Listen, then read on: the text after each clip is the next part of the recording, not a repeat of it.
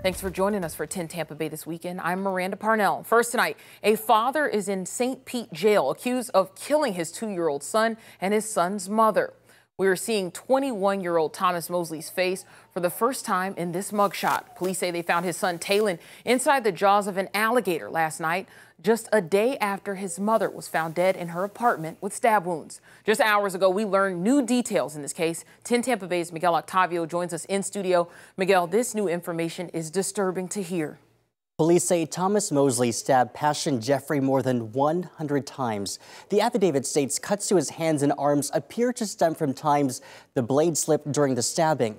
On Wednesday night, police say Mosley was at Jeffery's apartment for his birthday. That same night, police say he left the apartment, went to the lake where they found his son, before going to his mother's house just 10 blocks away.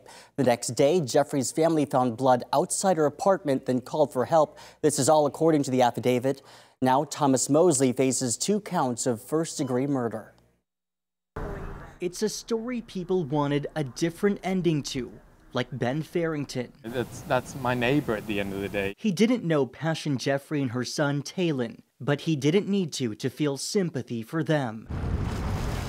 People wanted to find this kid before anything else. An Amber Alert for Taylen was out for more than a day, strangers desperate to join the search. But Friday night, officers say they found Taylen dead at a lake near Dell Holmes Park inside the jaws of an alligator. We are sorry that it had to end this way. Memorials of Pashun and Taylen now sit at the park in their honor. Their family spoke hours before police say they found Taylen. Taylen lost his mommy, so he needs his family right now.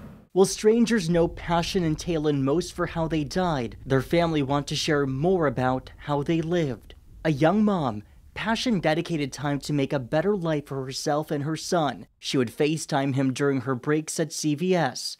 And Taylen, that Taylen is a beautiful little boy, also known as Tay Tay, was sweet and loving, always with a smile on his face.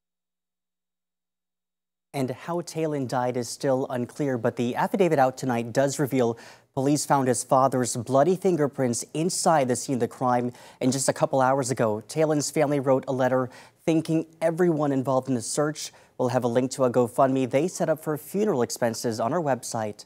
In studio, Miguel Octavio, 10 Tampa Bay.